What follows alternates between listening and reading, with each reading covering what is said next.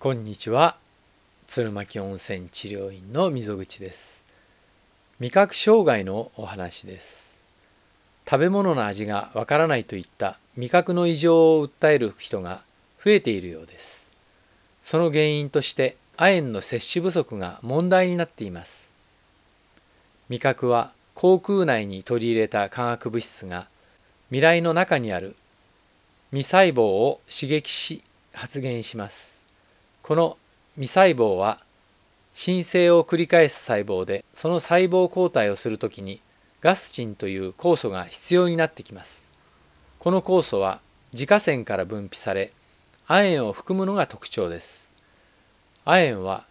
人体中に 2.5g 含まれ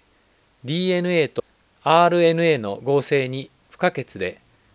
細胞分裂に重要なミネラルですがその血中亜鉛レベルが低下すると未細胞の病的変化が生じ味覚機能が障害されるのです。その障害はガス賃量が正常者の5分の1に減少すると現れその患者に亜鉛を投与すると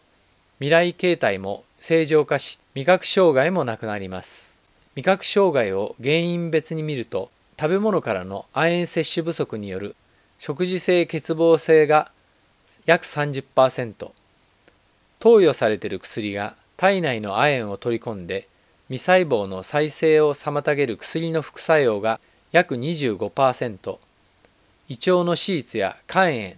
ネフローゼ糖尿病などの疾患による亜鉛欠乏症が約15%の順に多く亜鉛不足が患者の約70%を占めます。亜鉛不足に陥らないためには動物性食品ナッツ類豆か野菜類を毎日の食事から摂取することです。またリン酸塩やフィチン酸といった食品添加物が入っている加工食品は亜鉛の体内吸収を阻害するので注意が必要です。では本日のお話はこれで終わります。